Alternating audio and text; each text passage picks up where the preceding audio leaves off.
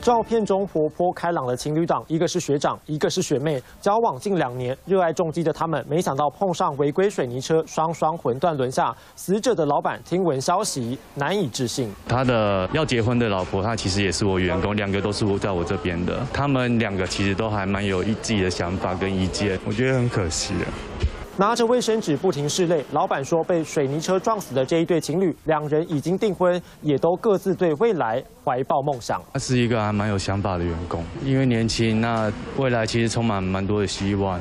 对，那现在科系，我是觉得对他。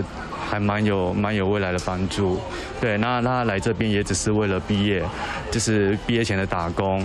二十二岁的陈姓男大生是海科大学生，利用课余时间在三重的肉骨茶店打工。热爱重机的他，计划毕业后在台北港工作，和女友感情非常好，即使还没毕业就有结婚共识。女友是运动休闲系，最近想报考救生员执照，希望能和男友一起工作。一等发现他们明和他们一起走，他出门前还问我漂不漂亮，他说他这好不好看，结果这怎么是最后一句话？计划好的梦都还来不及实现，家属赶到车祸现场，难以置信，相拥哭断肠。